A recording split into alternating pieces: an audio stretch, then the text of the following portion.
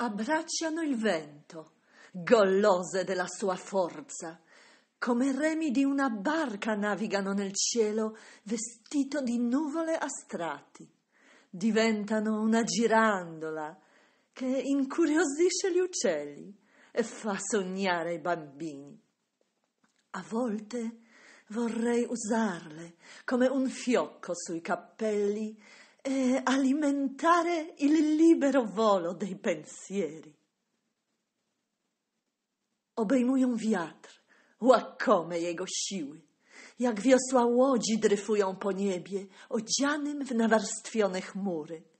Stają się wiatrakiem, który zaciekawia ptaki i pobudza dzieci do marzeń. Czasami chciałabym użyć jej jako kokardę do włosów i napędzić wolny lot myśli.